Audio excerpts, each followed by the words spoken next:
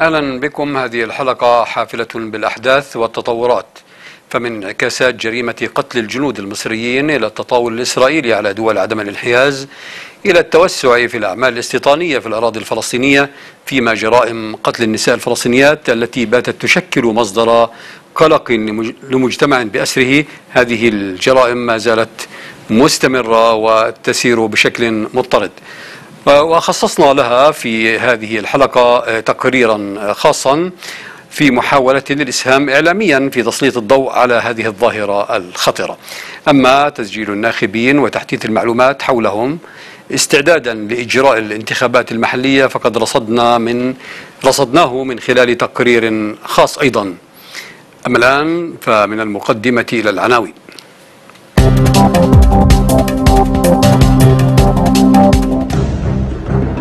استنكار فلسطيني واسع لجريمة قتل الجنود المصريين الستة عشر.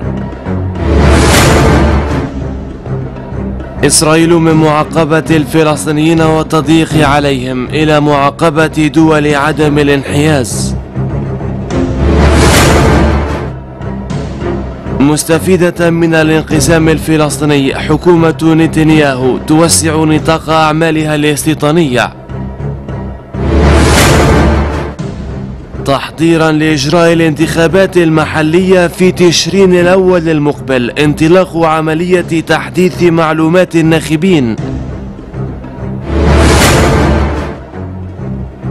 جرائم قتل النساء تقرع ناقوس الخطر في المجتمع الفلسطيني.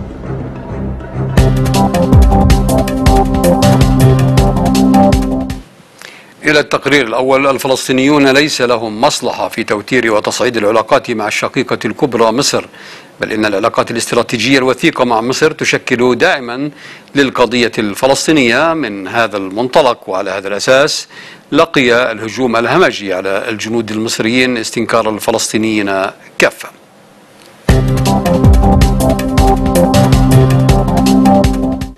ما يجري في دول الجوار العربي له بالغ الأثر على القضية الفلسطينية حيث إن قتل الجنود المصريين ستة عشر واتهام جماعة فلسطينية بالمسؤولية عن ذلك ثم تراجع بعد أن ظهرت معطيات أخرى يعكس حالة من الارتباك في المشهد.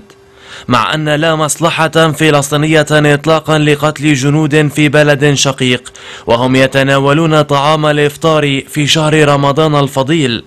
إن العملية الهمجية المدانة بكل المقاييس جاءت من حيث التوقيت لزيادة الوضع الداخلي في مصر اضطرابا.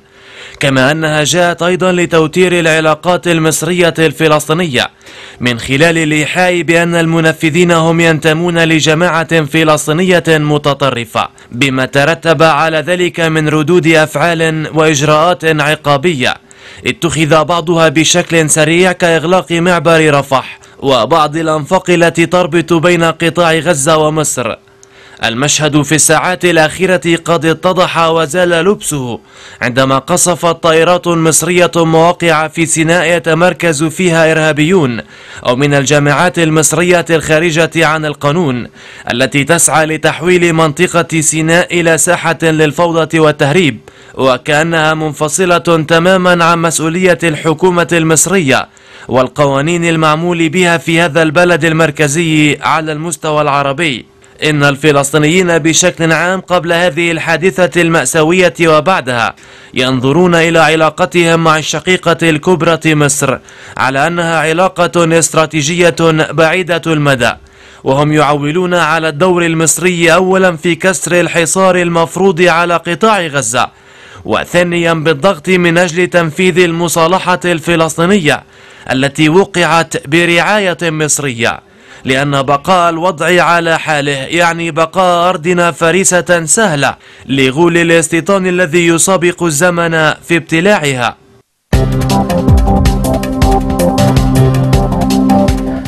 ومتابعة لهذا الموضوع معنا في الاستوديو الكاتب والمحلل السياسي الأستاذ مهند عبد الحميد. أهلا وسهلا بك أستاذ مهند.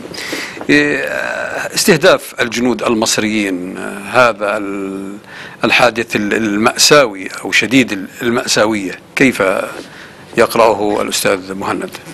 يعني كان هناك إجماع فلسطيني ضد استهداف الجنود المصريين وهذا لم يكن صدفة. نعم. يعني رسميا معارضة من كافة الألوان السياسية أدانوا والأهم من ذلك أن المزاج الشعبي الرأي العام الفلسطيني بأكمله ضد استهداف الجنود الأشقاء المصريين. لأنه لا مصلحة للفلسطينيين بذلك نعم. قطعا لا بصرف النظر عن أي نظام م.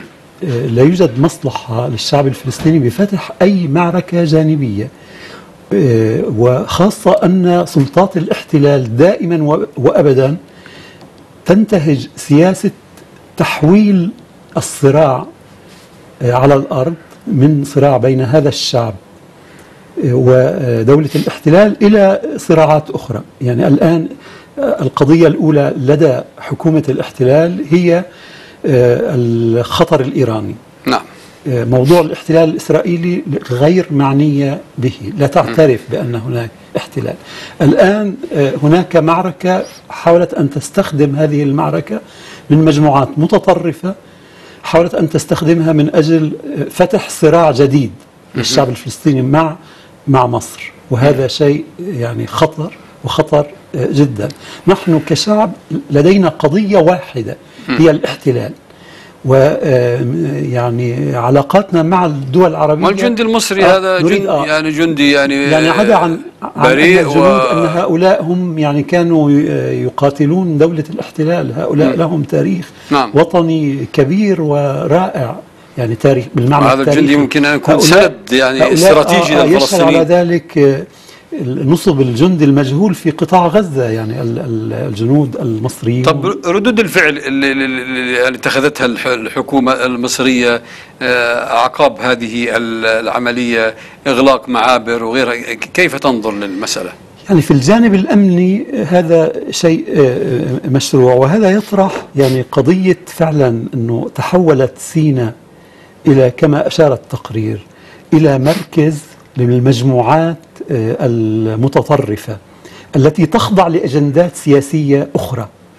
يعني آه، آه، أي طرف يريد أن يستخدم هذه المجموعات بطريقة أو بأخرى سيجد ضالته ضمن يعني سياسة محددة وضمن أهداف محددة. قبل أيام كشفت وسائل الإعلام الإسرائيلية عن تهريب عن شبكات تهريب.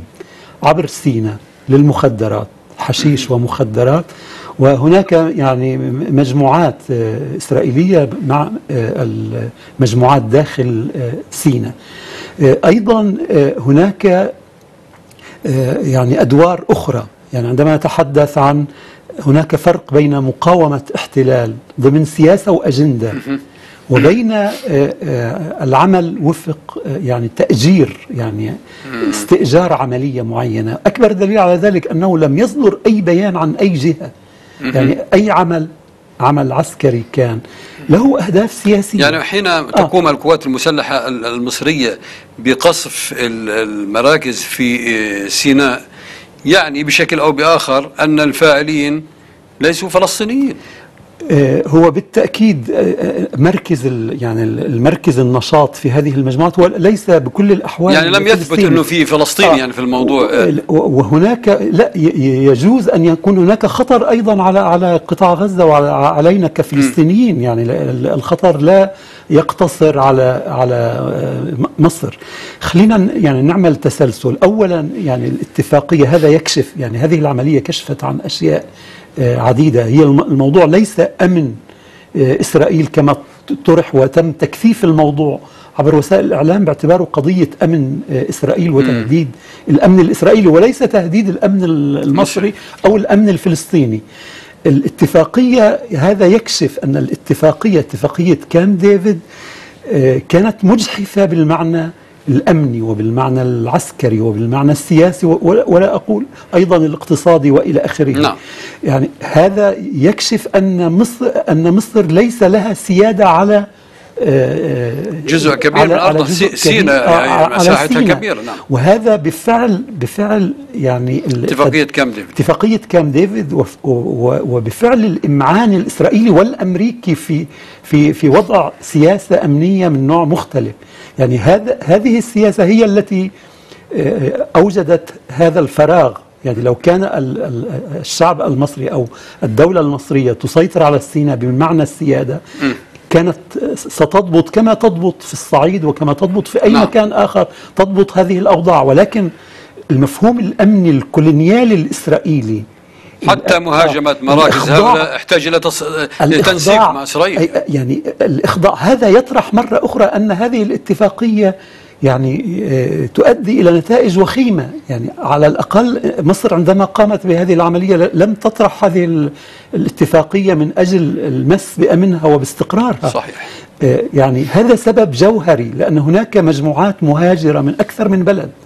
يعني هناك مجموعات يقال يعني حسب التقارير إنه المجموعات القاعدة الهاربة من المملكة العربية السعودية تأتي إلى سيناء هناك مجموعات تأتي من من إفريقيا من دول إفريقية من الصومال من, من أكثر من بلد. هناك تعدد وتنوع وهناك مناطق يعني يسيطرون عليها كما أشارت أيضا التقارير. هناك تدريبات تدريبات عسكرية هناك أسلحة يعني منطقة هناك تهريب. خارج نطاق آه السيطرة أصبح. خارج نطاق السيطرة وهذا يطرح فعلا يطرح قضية الاتفاق. هذا الاتفاق فعلا بدأ يعني ترجمته سابقا ألحق في مصر أضرار وهو الذي قاد إلى الانفجار وإلى وما زالت هذه وما زالت هذه آه وتحاول الحكومة الإسرائيلية والسياسة الأمريكية أن تسمح بتعزيزات عسكرية هنا. يعني هذا الكلام يعني أصبح آه، كأن المسألة من هذا جزء من الأزمة وجزء من المشكلة. وهذا هو الذي يغذي يعني المسؤول عن هذا الوضع هو دولة الاحتلال. ليس من باب آه، إلقاء التهم ولكن من الناحية الفعلية والواقعية. نعم دولة الاحتلال مسؤولة عن هذا الفراغ هي التي تورط مصر آه، في حرب مع هذه المجموعات وليست أولوية لدى مصر أن, أن, صحيح. أن تدخل معركة مع مجموعات لديها ملفات كثيرة نعم. الآن ومعقدة. آه, آه هذه الحكومة تحاول أن آه تدخل تعديلات آه ثانوية لا قيمة لها على على هذا الاتفاق. علما أن المطروح أن سيناء من المفترض أن تكون ضمن سيادة سيادة مصرية. لا, لا يجوز أن يتم آه، طلب إذن من حكومة الاحتلال لإدخال جنود أو لإدخال أسلحة آه، آه، معينة. يجب أن يكون الأمن في هذه المنطقة خاضع للسيادة المصرية. وعند ذلك يعني سيكون وضع هذا يعني الوضع الأمني في في متناول الحل ويجد حل. ولكن بدون ذلك لا يمكن إيجاد نعم. آه، حلول. يعني أستاذ يعني الوضع في في في مصر الآن يعني صعب آه، معقد آه، ملفات اقتصادية ديمقراطية حزبية الإخوان مستقبل الحكم هناك انتقادات يعني مواضيع كثيرة. مصر يعني كانت هي راعية للمصالحة الفلسطينية ودعمت بهذا التوجه. يعني ألا تعتقد أن هذه الملفات ستشغل مصر ربما بعض الوقت عن يعني الاطلاع بدور معين آه، ضمن هذا الاتجاه؟ آه، يعني كان يعني من الملاحظ أن نتائج الانتخابات في مصر نتائج الانتخابات الرئاسية تحديدا ومن قبلها انتخابات المجلس أو البرلمان المصري آه، انعكست سلبا. كان هناك تقدير بأن يعني هناك اتفاق أكثر من اتفاق حصل برعاية مصرية وكان الاتفاق الأخير برعاية قطرية ومصر أيدت الاتفاق نعم. اتفاق الدوحة ولكن بعد الانتخابات تم التراجع عن ذلك أوقفت حماس عمل لجنة الانتخابات المركزية في مم. في قطاع غزة الذي كان يعني إيقاف اللجان الأخرى مم. وهذا يعني عندما نراقب الخطاب الصادر عن قيادة حماس كانوا ضد اتفاق الدوحة أصلا آه، اتجاه يعني ليس بسيط في إطار حماس. آه، الاستعدادات الاحتفال ب الاحتفال بال- بالانقلاب العسكري ذكرى الانقلاب والحديث عن أن المجلس التشريعي سيكون للدولة الإسلامية الكبرى إلى آخره. يعني هناك استقواء بالتحولات التي حدثت في مصر. آه، ومحاولة يعني تثبيت الأوضاع أو محاولة آه، يعني وضع استعادة الوحدة آه، يعني على هامش هذه العملية السياسية. لكن بدأت بعض التصريحات آه، للرئيس آه، دكتور محمد مرسي وبعض السياسيين المصريين يعني أظهرت هذه التصريحات اهتماما بإنهاء ال- المصالحة لكن هذا الاهتمام ال- النظري يعني افتقر حتى الآن إلى آليات يعني عملية ربما يعني تكون ضاغطة. كان يمكن أن يكون هذا الكلام يعني صحيحا لو انعكس على سياسة حركة حماس. آه، ولكن عندما يعني حماس تتعامل مع ال- الاتفاق بطريقة أخرى هذا يعني أنها يعني لديها ضوء أخضر أو تشجيع. وهذا يطرح سؤال فعلا على الرئاسة المصرية وعلى آه، مصر. لكن يعني, يعني لا حول- هل يوجد مصلحة لمصر؟ ان تظل أمور الساحه الفلسطينية مشرذه بغض النظر مين على رأس الحكم يعني. من الناحية الموضوعية لا يوجد مصلحة لمصر أن أن يبقى الوضع الفلسطيني آه، ممزقا. آه، ضمن هذه ال- السياسة. ولا يوجد طبعا مصلحة للشعب الفلسطيني. ولدينا نحن معركة واحدة هي الاحتلال هي نعم. ال- الآن يعني قضية تمرد الحكومة الإسرائيلية على ال- على كل شيء تقريبا على ال- القرارات على الاتفاقات على كل شيء نعم. ومحاولة يعني آه، بناء وقائع على الأرض مضاعفة الاستيطان آه، ما يجري في مدينة القدس استئناف البناء في جدار الفصل نعم. والعنصر يعني كل هذا يدفع باتجاه أن نخوض معركة ونحن آه، يعني صف واحد موحدين، نعم. آه موحدين وليس أن, أن نبقى منقسمين و و و ونقدم خطأ. يعني كفى. يعني الشعب لم يعد يعني حسب استطلاعات الرأي حسب المزاج العام أصبح يتحدث عن المصالحة باعتبارها تندر. يعني جراء الإخفاق المتكرر. هناك إخفاق وإخفاق اتفاقات لا, لا, لا, لا ترى النور. والمهم هو الآن الأفعال وليس الأقوال. لا يهم أن مصر تتحدث عن أهمية المصالحة. الجميع يتحدث عن أهمية المصالحة. الآن إحنا في طور ترجمة المصالحة. مصر لديها يعني تستطيع وموقفها الآن نعم. هي ما لم ما لم يعني آه، تمارس ضغط على حركة حماس. ما لم يتم وضع الاتفاقات على الطاولة من أجل التطبيق. معنى ذلك أن آه، هي تؤيد استمرار الانقسام هي تؤ- تؤيد تمرد حماس على الاتفاق. أشكرك أستاذ مهند أشكرك على ما قدمه من تحليل.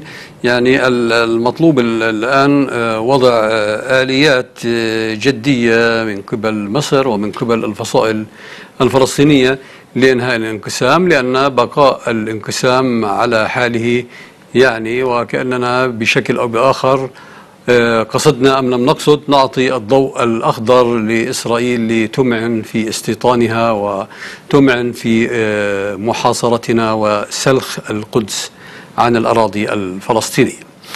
من اجتماع لجنة فلسطين في دول عدم الانحياز من خلال عدم السماح لبعض أعضاء اللجنة من الدخول إلى فلسطين أكد استخفافا إسرائيليا كاملا بالمجتمع الدولي ما يتطلب من المؤسسات الدولية استخلاص العبر.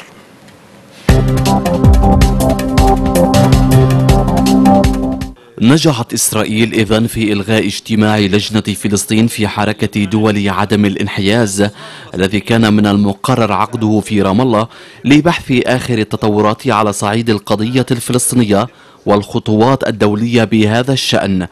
وزير الخارجية الدكتور رياض المالكي وفي مؤتمر عقده عشية القرار الإسرائيلي أكد أن أعضاء لجنة فلسطين رفضوا أي بدائل لعقد اجتماعهم خارج فلسطين وقرروا العودة إلى عواصمهم.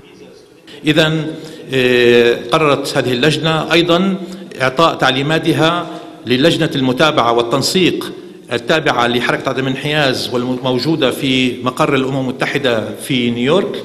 بمواصلة هذا الموضوع واتخاذ ما هو مناسب من خطوات من استنتاجات التي سوف ترفع إلى القمة قمة عدم حركة عدم الانحياز في طهران في نهاية هذا هذا الشهر من أجل فعلا وضع كل الحركة بكل أعضائها ال 120 دولة أمام مسؤولياتها في كيفية التعامل مع مثل هذا الابتزاز آه، وهذا الاستخفاف الإسرائيلي. ماليزيا بنغلاديش كوبا وأندونيسيا هي الدول التي منعت إسرائيل وزراء خارجيتها دخول الأراضي الفلسطينية وهو ما رأى فيه البعض رسالة إسرائيلية تحمل الكثير من المعاني في طياتها. إسرائيل أرادت أن تعطي للفلسطينيين درسا قويا بأنها لن تسمح لأي خطوات فلسطينية تعتبرها أحادية الجانب.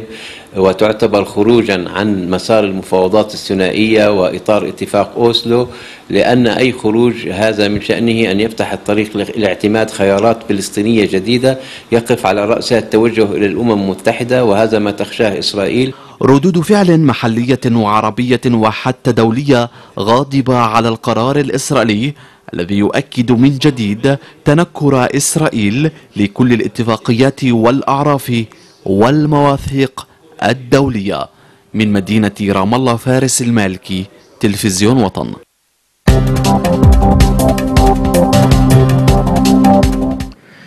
نتابع فلسطين هذا الأسبوع بعد التذكير بالعناوين المتبقية.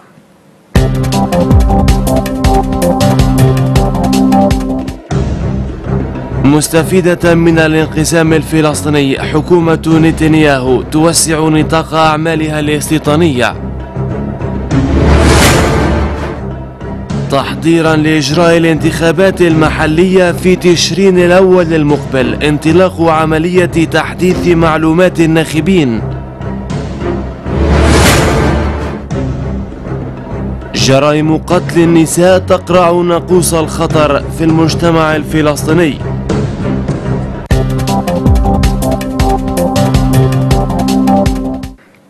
إسرائيل تستغل أوضاع الانقسام والتشرذم الفلسطيني بإطلاقها العنان للاستيطان جاعلة من الأراضي الفلسطينية ساحة للتوسع الاستيطاني بما يرافقه من ازدياد مضطرد لعدد المستوطنين في بلادنا.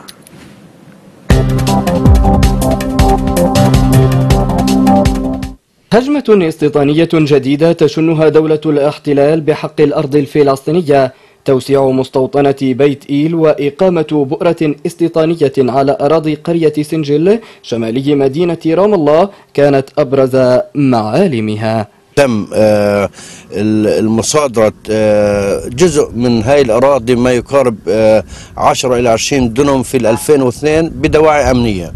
هلا إحنا ذهبنا إلى المحكمة في حينها والمحكمة في دواعي أمنية للجيش. ما في أي جدال الكيس مغلق يعني. ما ما لك ما في ما ما في إمكانية إنك تقدم للمحكمة. فبلكن في الأشهر الستة الأخيرة يعني شايفين إن في توسع مستمر كما ترون خلفي. فمنذ أيام شرعت إسرائيل في نقل كرفانات سكنية جاهزة إلى إحدى المعسكرات المقامة على أراضي القرية ما أثار تخوفات المواطنين بإمكانية إقامة بؤرة استيطانية جديدة على أراضيهم. المساحة اللي مهددة بالمصادرة يعني لا تقل عن نسبة 75% من المساحة الإجمالية لأراضي سنجل. فأنا شخصيا برضه في لي مساحة برضه لا استهان فيها.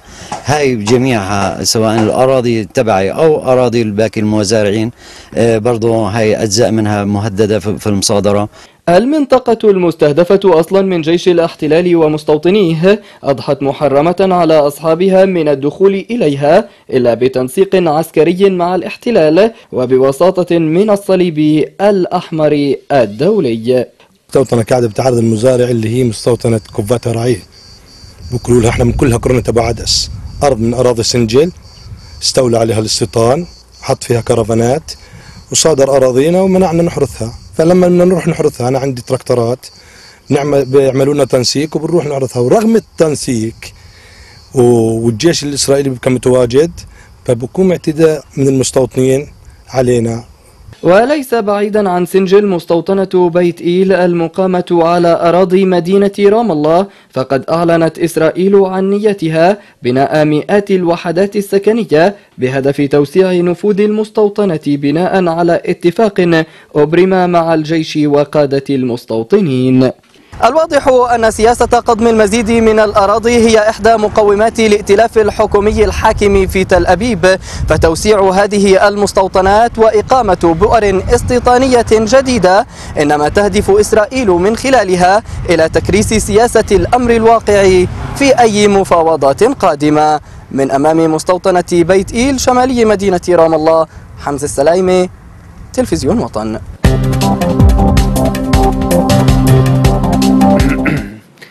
انطلاق عملية تسجيل الناخبين في الضفة بغية إجراء الانتخابات المحلية في العشرين من تشرين الأول القادم حيث أن هذه العملية تهدف إلى تجديد وتحديث المعلومات تهيئة وتحضيرا لإجراء الانتخابات المحلية.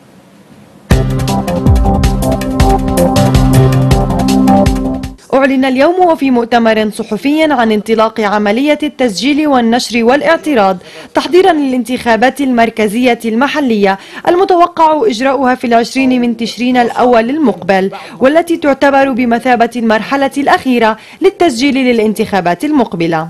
أحب اليوم أعلن آه، عن بدء عملية التسجيل للانتخابات المحلية القادمة في 2010 2012 جميع الهيئات الصغيرة والكبيرة ستكون آه، آه، فيها انتخابات. يعني حتى البلد اللي فيها 200 شخص سيكون فيها انتخابات آه، للمجالس المحلية. معناته كل البلد ستشارك في عملية الانتخابات المحلية. وسبق مرحلة التسجيل والنشر حملة توعوية للمواطنين لحثهم على المشاركة والانخراط في العملية الانتخابية سعيا من اللجنة لتحفيز الأحزاب السياسية والمجتمع المدني ككل على التعاون مع اللجنة في إنجاح عملية التسجيل. على الانتخابات لحد الآن جيد جدا يعني وحتى عشان أول يوم من الصباح الباكر يعني هلوا علينا الانتخابين. في ناس حتى ما بيجوا بيسجلوا بيجوا يتأكدوا من اسمهم على السجل الانتخابي بينزلوا على البورد بيتاكدوا من اسمهم وإذا اسمهم موجود خلاص تلقائي بيروحوا إنه اسمهم موجود. واللي بده يسجل يحدث تسجيله برضه حتى لو كل شيء كامل بياناته بيقدر يحدثه لأنه إحنا رح نتبع آخر يوم آخر وقت تسجيل له في عندنا كمان غير نموذج تسجيل الناخبين في عندنا نماذج مثلا للإعتراض للشكوى. بيقدر أي حدا من المواطنين بده يعترض مثلا على حدا مسجل إنه يجي يقدم طلب الاعتراض وإحنا بننظر فيه ولجنة الانتخابات طبعا المركزيه بيكون هالقرار والجدير ذكره أن عدد الهيئات المحلية والتي سيجرى فيها الانتخابات في الضفة الغربية يبلغ ما يقارب 353 هيئة من ضمنها 98 مجلس بلدي و245 مجلسا قروي وعشرة مجالس محلية أخذ كل منها مكانه في الانتخابات القادمة. الانتخابات المحلية تأخذ مكانها في يومها الأول على أمل الوصول وتحقيق انتخابات نزيهة وديمقراطية. لتلفزيون وطن راما يوسف رام الله.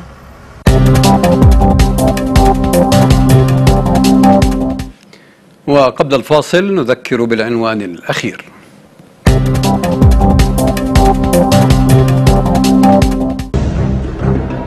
جرائم قتل النساء تقرع ناقوس الخطر في المجتمع الفلسطيني.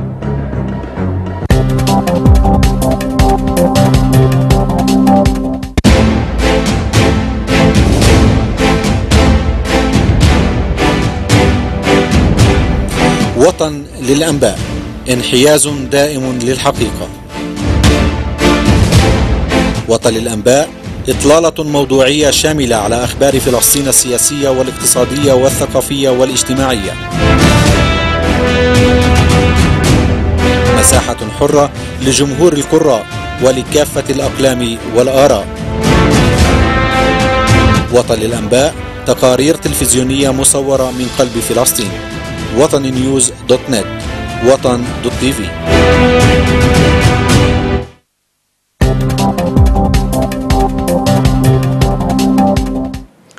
جرائم قتل النساء الفلسطينيات تحت ذرائع ومبررات يسوقها مرتكبو هذه الجرائم لتبرير جرائمهم. تجاوزت في الأيام الأخيرة كل الخطوط الحمر من خلال الازدياد المضطرد في عدد النساء اللواتي قتلن مؤخرا.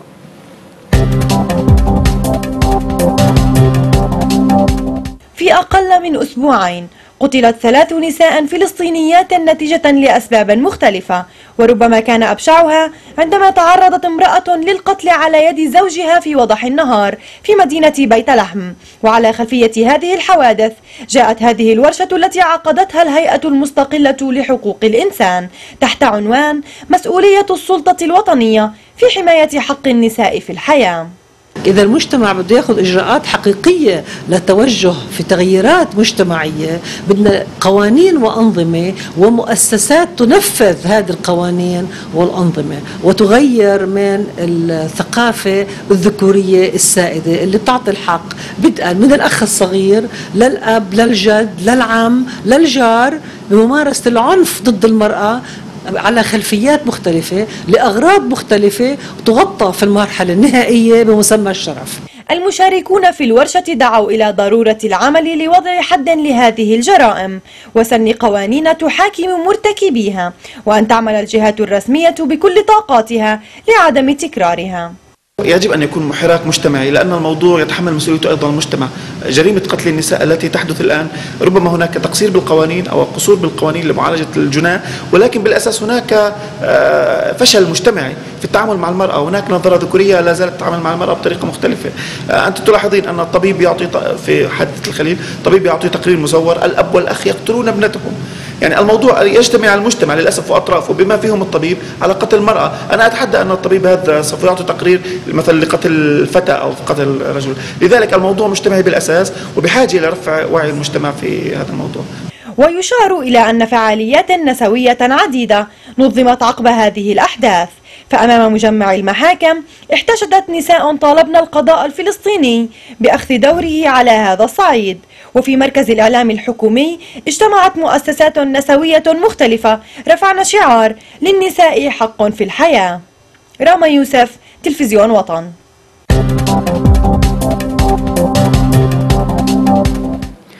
ومتابعة لهذا الموضوع معنا في الاستوديو الناشطة النسوية سامة عويضة مدير عام مركز الدراسات النسوية. أهلا وسهلا بك. يعني استمرار هذه آه، الجرائم بحق النساء الفلسطينيات ماذا يعني؟ آه، بداية يعني الجرائم هذه أنا بدي أعطيها اسم أكبر من ما هي جرائم ترتكب بحق النساء الفلسطينيات بدي أقول إنه هي جرائم ترتكب بحق المجتمع الفلسطيني نعم. لأنه قتل النساء هو جريمة بحق المجتمع بكل معنى الكلمة لأنه هو يؤكد على وجود الجريمة آه، ويساعد على تفتيت الأسر ويساعد بالتالي على تفتيت المجتمع وعلى آه، قلب الأجندة أجندة التحرر الوطني إلى أجندات آه، ليس لها داعي وهي أجندات كمان ممكن نسميها ضد الإنسانية بشكل عام وضد حقوق الإنسان بشكل عام نعم. فبالتالي تزايد هذه الجرائم آه، هو لا يعبر إلا عن قضيتين يجب أن نضع خط أحمر تحت كل قضية منهم نعم. القضية الأولى هي غياب التشريعات الكافية والكفيلة بوضع حد لهذه الجرائم. وهذا يعني وصلنا حد لا يمكن السكوت عليه أكثر من اليوم. آه، ما زلنا نتبع تشريعات قديمة تشريعات آه، غير محدثة تشريعات لم يضعها المجتمع الفلسطيني يعني ولا تتناسب مع واقعنا. هناك قصور في التشريعات. في والخط الأحمر الثاني بدي أضعه تحت ثقافة مجتمعية آه، تقليدية متخلفة ما زالت تسمح بارتكاب الجريمة. واللي بيسمح بارتكاب جريمة من نوع معين هو عمليا بيعطي ضوء الأخضر لارتكاب الجرائم بشكل عام. آه، بالحالات اللي بنفكر فيها نحن بنحكيش عن آه، امرأة قتلت ولكن بنحكي عن أسرة هدمت. وبنحكي عن مجتمع آه، نخرته عادات وتقاليد بالية. وبنحكي عن آه، آه، آفات مجتمعية إذا لم يتم الوقوف تجاهها بشكل موحد ومن قبل المجتمع آه، بشكل موحد ستجرنا إلى آفات كثيرة. نحن عمالنا يعني في عندنا ثقافة سائدة. في عندنا ثقافة سائدة. هذه الثقافة هذه هذه كيف الثقافة. يمكن تغييرها يعني؟ يعني؟ آه، مؤسسات فلسطينية آه، أحزاب آه، جمعيات تعمل في هذا المجتمع منذ سنوات منذ عقود. لكننا نرى أن الأمور يعني تسير بصراحة إلى الأسوأ. يعني تغيير الثقافة المجتمعية هي مسؤولية كبيرة جدا. لا تقع على عاتق المنظمات النسوية وحدها مثلا كما يقال دائما أنه طب شو عملت المنظمات النسوية؟ المنظمات النسوية تساهم في تغيير هذه الثقافة ولكن تغيير هذه الثقافة هي مسؤولية آه، شمولية تقع على عاتق الحكومة نفسها. آه، لأنه القانون يصنع ثقافة. هناك في ثقافة القانون. لما بيكون القانون يتطور باتجاه دفع الثقافة إلى أن تكون ثقافة أفضل. بن- بنقدر نلاحظ هذا. وفي عدة آه، والثقافة, والثقافة من شأنها أن آه، تأتي بقوانين يعني صحيح هي, متطورة هي إذا علاقة. هي علاقة جدلية. مم. العلاقة ما بين القانون والثقافة مم. هي علاقة جدلية. القانون بيقدر يكرس ثقافة موجودة.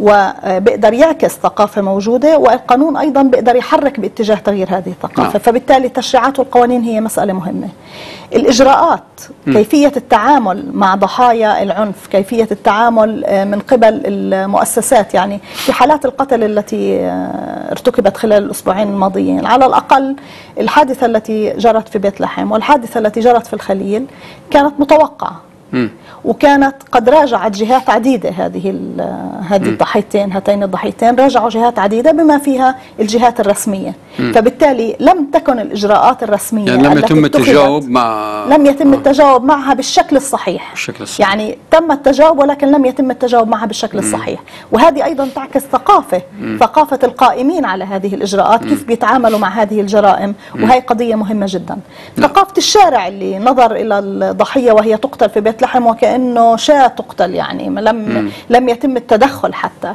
مم. لأنه بالتالي في ثقافة الإعلام ثقافة المناهج التعليمية. المناهج التعليمية يقع عليها عبء كبير.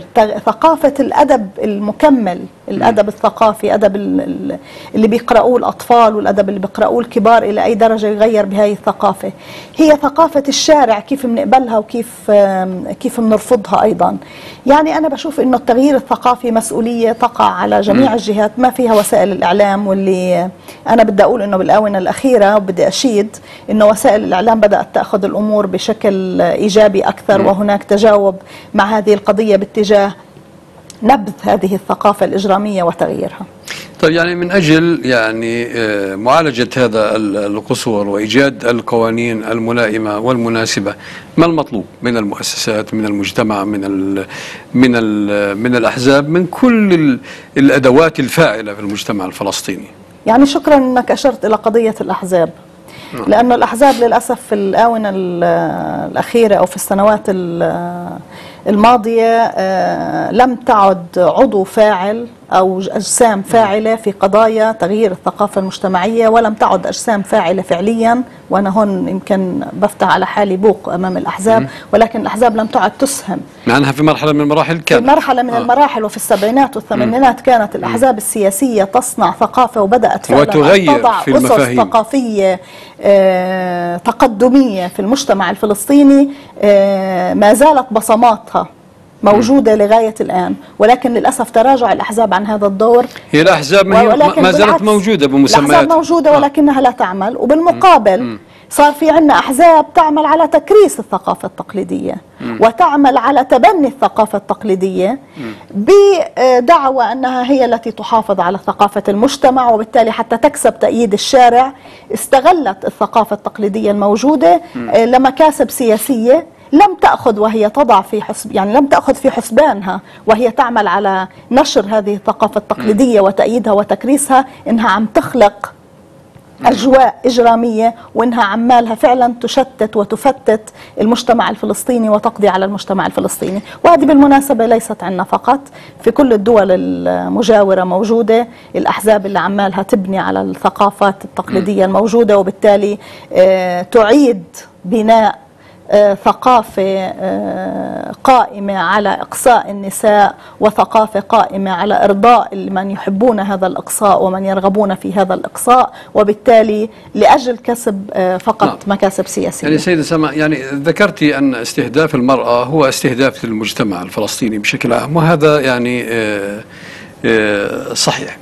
لكن يعني أمام هذا الاستهداف المستمر المتصاعد بشكل آه، مضطرد هل نحن كمجتمع فلسطيني الآن نواجه خطرا حقيقيا؟ فلنقل خطرا داخليا؟ الخطر الخارجي هو موجود ومستمر وقائم.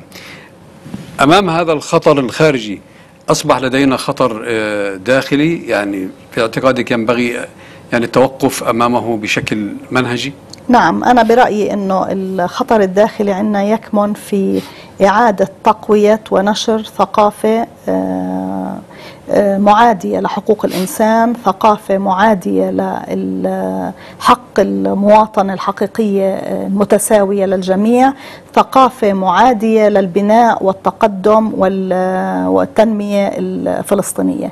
أمام هذا ال- الخطر الحقيقي الداخلي آه، هذا بيغذي الخطر الخارجي ويقويه. فبالتالي بدل ما يكون عندنا مجتمع متماسك يواجه أزماته اللي آه، تكمن في الخطر الخارجي اللي, اللي يحيق به يصبح مجتمع مترهل غير قادر على مواجهة الأزمات وعلى مواجهة المخاطر التي تحيق به. ونحن. يعني ننشغل في في قضايا آه، ثانوية تنهكنا وترهقنا وتجعلنا أمام يعني آه، بين قوسين معارك وقضايا اجتماعية. نحن بغنى عنها وهي في الأساس لم تكن صحيح. موجودة بهذا الحجم قبل سنوات مثلا صحيح وللأسف أنه آه، من يغذي هذه الثقافة قاعدين يلاقوا لها تبريرات من آه، مختلفة وتبريرات للأسف أنه يستخدم الدين أحيانا في وضع هذه التبريرات لأنه الناس آه، ميالة جدا وعاطفية تجاه القضايا الدينية فتستخدم الثقافة الدينية بطريقة خاطئة.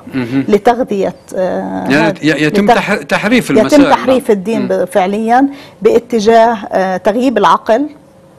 في هناك عندنا ثقافة تغيب العقل تماما وتغلب على العقل القضايا ال- الغيبية التي ليس لها علاقة بالعقل علما بأن الله ميزنا عن بقية الكائنات الحية بأنه خلق لنا العقل كي نستخدمه. نفكر. ولكن دعاة هذه الثقافة هم دعاة من تغييب العقل وفقط إنه نصير بدل ما نصبح من أهل العقل نصبح فقط من أهل النقل.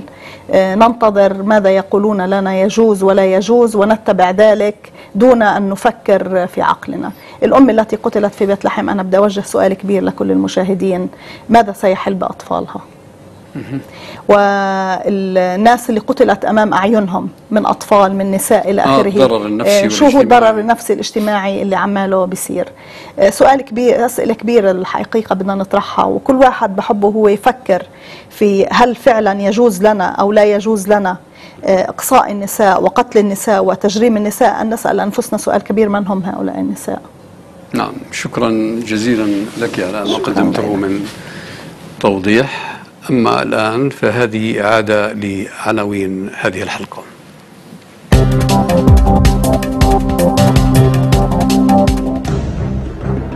استنكار فلسطيني واسع لجريمة قتل الجنود المصريين 16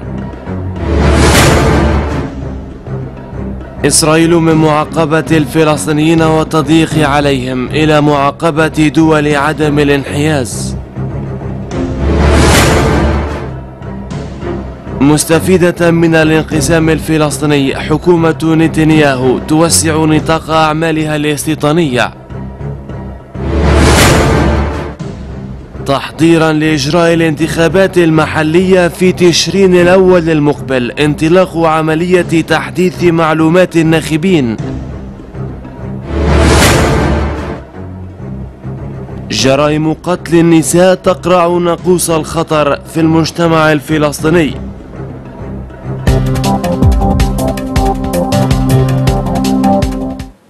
بهذا ننهي حلقة أخرى من فلسطين هذا الأسبوع. نلقاكم الأسبوع المقبل.